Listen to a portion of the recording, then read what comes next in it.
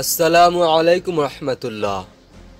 সম্প্রতি বিএসএফ বাংলাদেশ ভারত সীমান্তে নজরদারি করার জন্য বেশ কিছু সার্ভেলেন্স ইকুইপমেন্টের চালান গ্রহণ করেছে।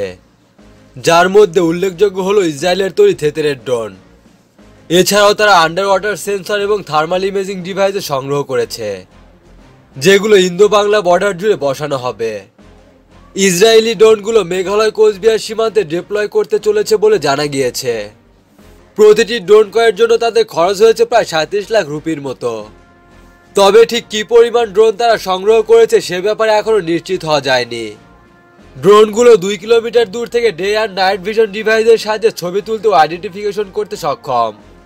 সবচেয়ে গুরুত্বপূর্ণ বিষয় হলো এই ড্রোনগুলো টানা দশ ঘণ্টার বেশি এয়ারবোন থাকতে পারে। অন্যদিকে বিএসএ ব্রহ্মপুত্র নদীর ইন্দো বাংলা সীমান্ত এলাকায় আন্ডার ওয়াটার সেন্সর বসাতে যাচ্ছে বলে খবর পাওয়া গিয়েছে। এই ধরনের সেন্সরের সাহায্যে একটি নির্দিষ্ট রেঞ্জের মানুষ বা অন্য কোনো বড় ধরনের পশুর গতিবিধি সম্পর্কে জানা যায়। আপাতত দৃষ্টিতে আন্ডার ওয়াটার সেন্সর নিয়ে ঝামেলা না হলেও থার্মাল ইমেজিং ডিভাইস এবং ড্রোন ডেপ্লয়মেন্ট নিয়ে হয়তো আমাদের সাথে তাদের কিছু ঝামেলা হতে পারে। তবে ভারত যদি আন্তর্জাতিক নিয়ম মেনে এসব সার্ভেইলেন্স ডিভাইস স্থাপন ও পরিচালনা করে, তাহলে আমাদের পক্ষ থেকে তাদের কোনো প্রতিবাদ জানানো হবে না। সো ভিডিওটি সম্পর্কে আপনাদের মূল্যবান মতামত অবশ্যই কমেন্ট সেকশনে জানিয়ে দিন। ভিডিওটি লাইক এবং শেয়ার করে অন্যদেরকে জানার সুযোগ করে দিন। ভালো থাকবেন, সুস্থ থাকবেন। আল্লাহ হাফেজ।